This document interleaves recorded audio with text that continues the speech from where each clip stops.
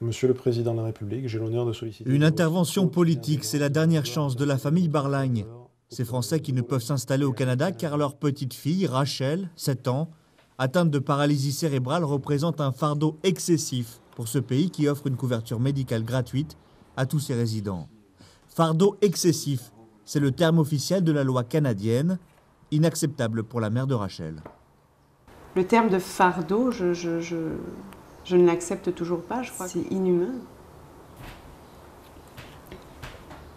Ma fille, parce qu'elle est handicapée, reçoit le même traitement qu'on infligerait à un criminel. Voilà comment je me sens aujourd'hui.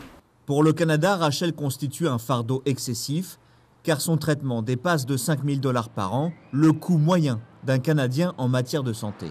C'est l'immigration choisie. Le Canada a besoin de main-d'œuvre, mais entend sélectionner les candidats. Chaque année, le pays refuse quelques 5000 dossiers, ce qui coûterait trop cher aux contribuables. Le Canada, pour certaines euh, catégories d'immigrants, ne se pose même pas la question. Donc, euh, lorsque par exemple quelqu'un est là qui veut parrainer une conjointe qui a un enfant malade, il n'y a aucun problème, ça passe on ne regarde même pas euh, euh, cet article de la loi, n'est même pas considéré.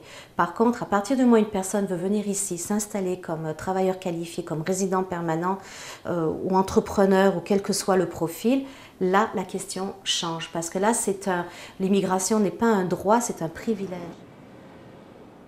Un privilège de plus en plus recherché. Le Canada entend contrôler les coûts d'une immigration massive 250 000 nouveaux arrivants chaque année.